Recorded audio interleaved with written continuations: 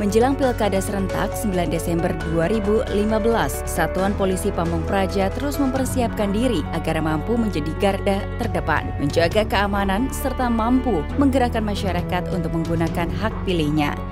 Dalam Pilkada serentak ini dia mempunyai peran yang sangat strategis. Sejak dini dia menjaga Tribun Tranmas karena biasanya menjelang pilkada serentak ini ketertiban umum ketentraman sangat meningkat. Jadi Satpol PP siap membantu dan memfasilitasi KPUD maupun Panwaslu sebagaimana undang-undang.